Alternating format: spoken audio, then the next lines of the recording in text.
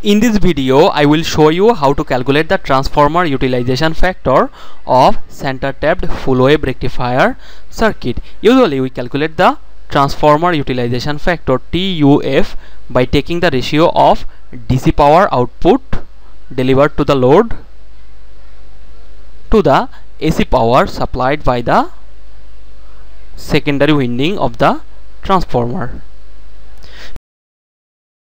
Calculation of transformer utilization factor in case of half wave rectifier or full wave bridge rectifier circuit. Here the transformer utilization factor of the center tapped full wave rectifier circuit will be the average of the primary transformer utilization factor primary TUF and secondary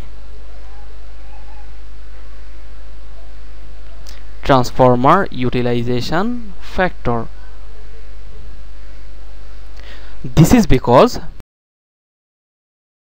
in case of a center tap transformer we will apply primary voltage like this as a result I will get a sinusoidal current in both positive and negative half cycles but in case of output you will see we will get the output current or load current and output voltage only for one half of the secondary when this input voltage will be at positive half cycle we will not get any output for the lower half of the secondary. The upper half of the secondary will supply the load current and output voltage. When this input voltage will be at lower half cycle we will get the output due to this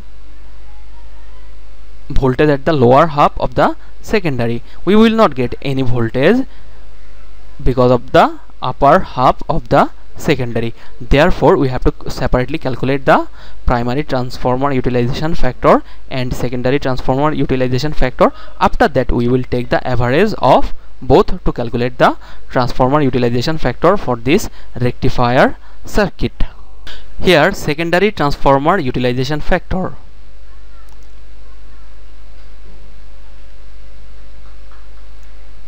will be equal to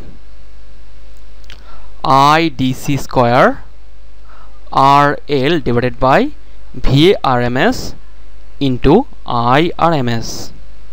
This VRMS will be pure sinusoidal voltage.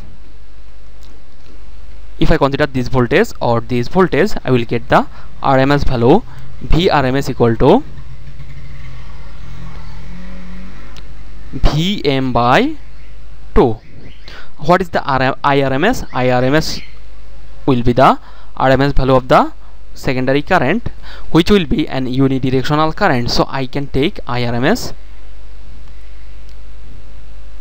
equal to Im by root 2 sorry this is root 2 or 0 0.707 Vm what is the value of this IDC in case of an unidirectional current IDC is equal to 2Im by phi so if I put the values of the parameters I will get 4 Im square by phi square into RL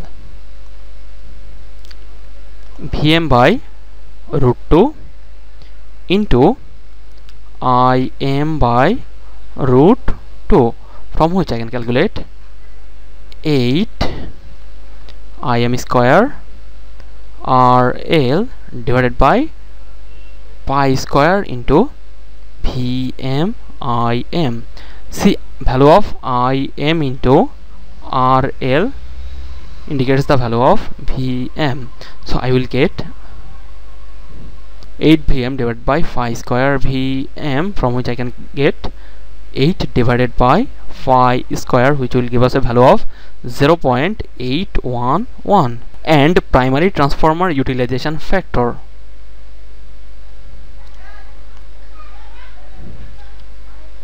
Will be the twice of transformer utilization factor of half wave rectifier. In case of half wave rectifier transformer utilization factor is 0.287 which will be 0.574 now our transformer utilization factor of center tap transformer will be the average of these two. 0.811 plus 0.574 divided by 2 which will be equal to 0.692 transformer utilization factor is the ratio of DC power delivered to the load resistor to the AC power input. This implies that in case of center tap transformer the power supplied by the transformer will not be totally used or will not be totally delivered to the load resistor. Only 69.2% will be delivered to the load resistor. Okay that's it. Thank you